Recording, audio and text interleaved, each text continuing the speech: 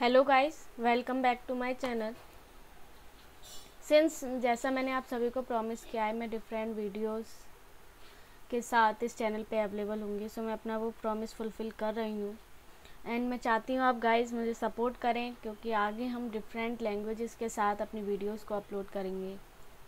और मैं कोशिश ये करूँगी कि आपको जितना भी कंप्यूटर फ़ील्ड में अभी तक हमने सीखा है और जो हम आगे सीखेंगे वो सब इतना सफिशेंट हो कि आप कंप्यूटर फ़ील्ड के अंदर कोई भी चीज़ परफॉर्म करें तो आप उसे परफेक्टली एंड सक्सेसफुली रन कर जा सकें। So let's start a today video आज के इस वीडियो में हम डिस्कस करने जा रहे हैं S T M L C S S कि एस टी एम एल के अंदर क्या ऐसे वेरिएशंस आए, कि हम कैसे सी एस एस को यूज़ करा सकते हैं अपने एस टी एम एल के अंदर S T M L normal basic code के अंदर। हेयर मैं आपको एक बात और बता दूँ सी एस एस का ट्यूटोरियल मैं अलग से भी डालूँगी बिकॉज़ सी एस एस अपने आप में एक वास्ट फ़ील्ड है और उसके बारे में हम अलग से डिस्कस करेंगे। बट हेयर मैं आपको थोड़ा बहुत हिंट दूँगी एंड थोड़ा बहुत डिफरेंट टाइप्स उसके बताऊँगी कि कैसे सी एस एस यूज़ करा सकते हैं हम अपने S T M L web page के क्रिएशन के अंदर। सो लेट्स स्टार्ट यहाँ पे मैंने सिर्फ़ की पॉइंट्स प्रोवाइड किए हैं about this thing. Here have a look. मैंने यहाँ पे प्रोवाइड किया है आपको S T M L C S S के बारे में. S T M L C S S exactly होता क्या है अगर मैं बात करूँ?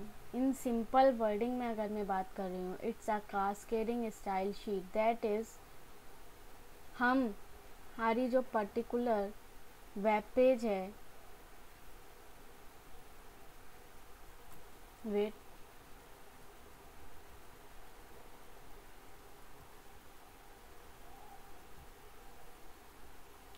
अगर हम बात कर रहे हैं, हमारा एक पर्टिकुलर वेब पेज है, हमने एक वेब पेज क्रिएट किया है। Using S T M L अगर हम उस वेब पेज को, जो हमने क्रिएट किया है S T M L and with C S S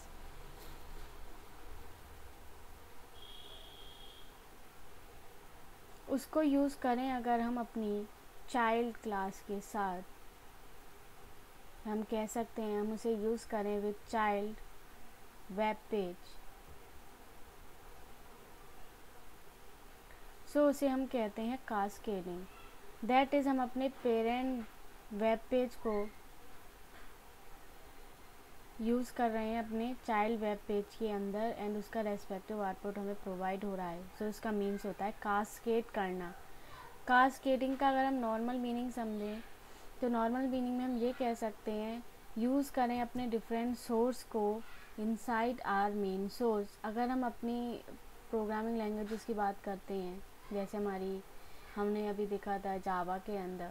सो हमने क्या कर रहे थे? हमारी इंपोर्ट करा रहे थे या इम्प्लीमेंट करा रहे थे अपनी डिफरेंट क्लास को अनदर क्लास के अंदर। सिमिलरली अगर हम एक वेब पेज को इंपोर्ट कराएँ दूसरे वेब पेज में या हम अपना पेरेंट वेब पेज क्रिएट करें? अलग से ही इनसाइड अपने मेन प्रोग्राम के अंदर ही पेरेंट पेज में क्या होगा? वो सभी बेसिक इन्फॉर्मेशन कंटेन करेगा, जो हमारा वेब पेज को प्रोवाइड कराना है at an output but here child web page के अंदर हम उसको रन कराएँगे अपने किस, उस मेन वेब पेज की, उस पेरेंट वेब पेज की सभी इंफॉर्मेशन को जो हमें आउटपुट में प्रोवाइड देगा. तो that is called cascading and here is style sheet का मीन्स क्या है? स्टाइलिंग करना. स्टाइलिंग करने में हर एक चीज़ आ जाती है. फ़ॉन्ट आ जाता है हमारा. कलर आ जाता है. कलर और फॉन्ट एक्सेट्रा मार्जिन आ जाती है. पैडिंग आ जाती है. ईच एंड एवरी थिंग जो हम अपने टैक्स को इम्प्लीमेंट कराएँगे टैक्स में और अपने वेब पेज के बैकग्राउंड में, हर एक चीज़ जो हम इम्प्लीमेंट कराएँगे उसमें जो चेंजेस लेके आएँगे, वो सभी कहलाती है हमारी स्टाइल और वो शीट हम उस शीट को क्या कह रहे हैं जो हमें आउटपुट में प्रोवाइड करेगी, वो है हमारा वो वेब पेज दैट इज़ हम उस शीट को पर्टिकुलर शीट में जब हम ड्राइंग करते हैं तो हम उसे क्या कहेंगे? स्टाइल शीट कहेंगे. एंड जब हम उसके अंदर डिफरेंट स्टाइलिंग का यूज़ करके अनदर चाइल्ड वेब पेज के अंदर उसे इम्प्लीमेंट करा दें। दैट इज़ अगर हम बात करते हैं, एक हमारी शीट है, इस पर हमने लेट से डोरीमोन बनाया है।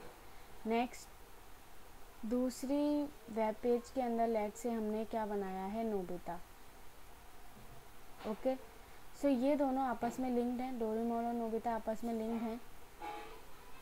सो so, इसका मीन्स क्या है? जो हमने स्टाइल शीट प्रोवाइड की है वो वर्क करेगी as a cascading because Nobita Doraemon के बिना कुछ नहीं है डोरेमोन नोबिता के बिना कुछ नहीं है बिकॉज़ ये तो part of cartoon that is जो मेन हो गया वो हमारा हो गया part of cartoon but link किन से है? ये दोनों हमारी चाइल्ड क्लास से जो हमने बनाई है डोरेमोन एंड नोबिता सो इस तरीके से यूज़ हम करा सकते हैं अपनी कास्केडिंग स्टाइल शीट को. यहाँ पे आप देख सकते हैं मैंने कोड प्रोवाइड किया है। ये जो पर्टिकुलर कोड है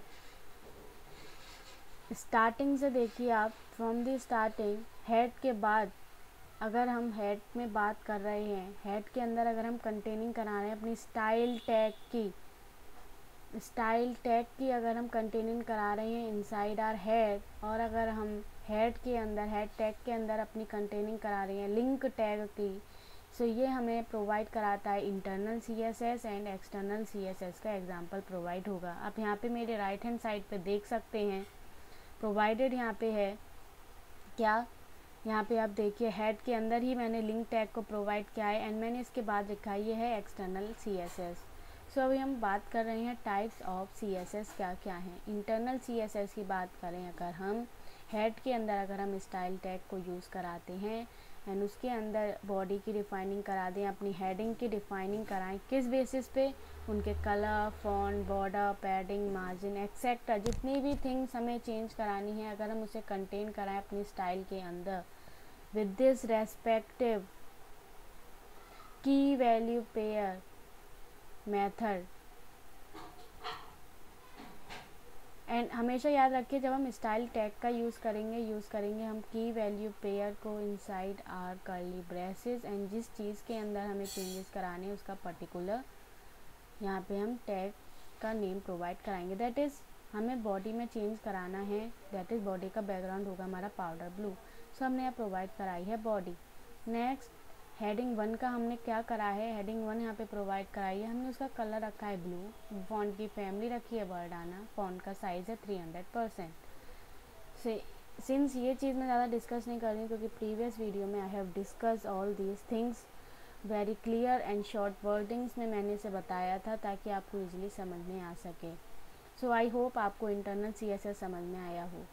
लेट्स मूव फॉरवर्ड अगर हम इन लाइन की बात कर रहे हैं इन लाइन का मीन्स क्या होता है? और इंटरनल में क्या डिफरेंस है? मैं आपको ये पहले बता दूँ। इंटरनल का मीन्स ये है हमारे वेब पेज के अंदर कंटेन है। आप ऐसे समझ लीजिए वेब पेज के अंदर कंटेन है हमारा चाहे अब वो हम हेड के अंदर कंटेन करें इसे।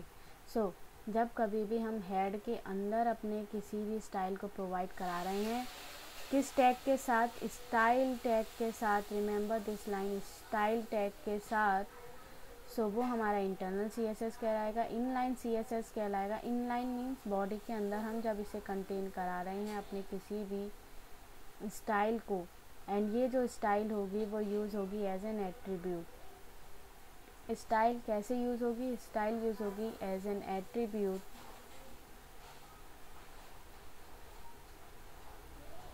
सो हम उसे कहते हैं inline C S S remember this line next अब हम बात कर रहे हैं क्या? अपने एक्सटर्नल सी एस एस की। अगर मैं एक्सटर्नल सी एस एस की बात करूँ यहाँ पे सो आप देख सकते हैं एक्सटर्नल सी एस एस में मैंने ये पर्टिकुलर लाइन लिखी है हेड के अंदर जैसा मैंने प्रीवियसली डिस्कस किया। सो so, इसके अंदर मैंने क्या करी है? इंक लिंक टैग का यूज़ करके यहाँ पे मैंने आर ई एल एट्रीब्यूट का यूज़ करा है and H R E F attribute का यूज़ किया है। So H R E F का ये क्या है? ये वो S T M L reference हमने प्रोवाइड किया है। S T M L reference provide किया है उस C S S web page का जो हमने डिफ़ाइन करी है किसके अंदर? अनदर फ़ाइल के अंदर। सो so, इसके लिए हमें ऑलरेडी जो हम रेफ़र करेंगे अपने रियल वेब पेज के लिए रियल वेब पेज हमारा सेव है with this style sheet and जिससे हम रिफ़र कर रहे हैं वो सेव है styles dot C S S तो styles dot C S S में मैंने सिर्फ़ बॉडी की डिफाइनिंग करी है कि बॉडी ये ये कंटेन कर रहा है ये ये चेंजेस हमें प्रोवाइड कराने हैं. नेक्स्ट अगर हम बात और इसके अंदर एक बात आप याद रखिएगा स्टाइल टैग का आप यूज़ कर भी सकते हैं और नहीं भी कर सकते हैं it's up to you and it's up to the version जो आप यूज़ कर रहे हैं. नेक्स्ट यहाँ पे अगर हम बात कर रहे हैं इनसाइड बॉडी अब आप देख सकते हैं, मैंने सिर्फ़ normal H one and P लिखा है। दैट इज़ रेफरेंस कहाँ से लेगा? जो हमारी चेंज होगी बॉडी के अंदर, वो कहाँ से होगी?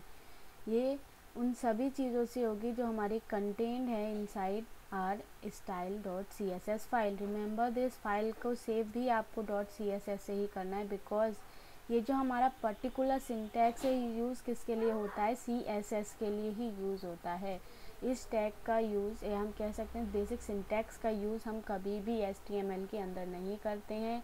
So C S S is a part of S T M L हम कह सकते हैं सी एस एस पार्ट है एस टी एम एल का, लेकिन एस टी एम एल की कंटेनिंग में सी एस एस की डिफाइनिंग डिफरेंट तरीके से होती है। Remember this line so I hope ये आपको समझ में आया हो internal inline and external C S S so मैं आपको ये पर्टिकुलर कोड समझ में आया होगा कैसे सेव करना है, मैं आपको एक बार ये दिखा देती हूँ। आप यहाँ पे देख सकते हैं, मैंने styles dot C S S name से अपनी इसको सेव किया है, जिसमें मैंने फ़ाइल के अंदर body and heading and paragraph की डिफाइनिंग की है। नेक्स्ट हमारा जो फ़र्स्ट कोड है स्टाइल शीट्स जो रिफ़र कर रही है हमारे स्टाइल जो सी एस एस को इसमें heading one and paragraph define किया है इन बॉडी सो अगर मैं इसके वेब पेज की बात करूँ तो आप ये वेब पेज देख सकते हैं। यहाँ पे हमारा this is a heading and this is a paragraph show हो रहा है ब्लू एंड यहाँ पे रेड कलर में शो हो रहा है।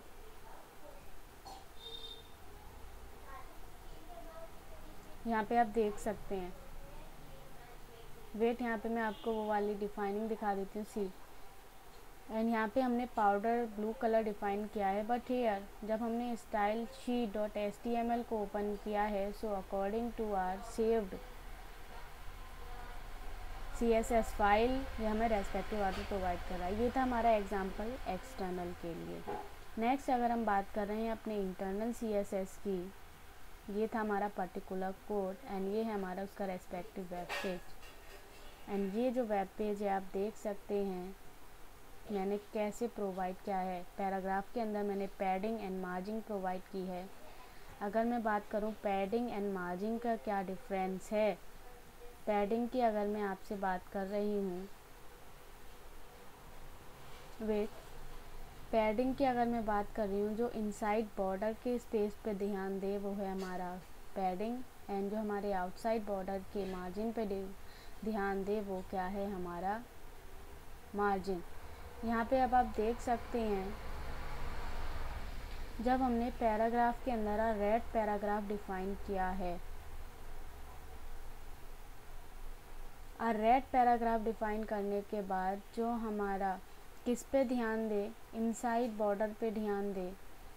वो था हमारा पैडिंग और जो हमारे आउटसाइड बॉर्डर के स्पेस पे डिफाइन करे, वो क्या था हमारा? मार्जिन सो आप देख सकते हैं स्पेसिस की कंटेनिंग हमारी अलग हो गई है, इसी बेसिस पे। नेक्स्ट यहाँ पे हेडिंग वन के अंदर मैंने फ़ॉन्ट साइज़ 300 परसेंट दिया है। एंड हेडिंग वन के अंदर जब हमने आप ब्लू हेडिंग को रन कराया तो आप देख सकते हैं उसका साइज़ कितना बिग आ रहा था। सो दैट्स हाउ हम कंटेन करा सकते हैं अपने क्या वेब पेज को inside S S so I hope ये वीडियो आपको अच्छी लगी हो. So please like share and subscribe to our channel thank you so much have a nice day.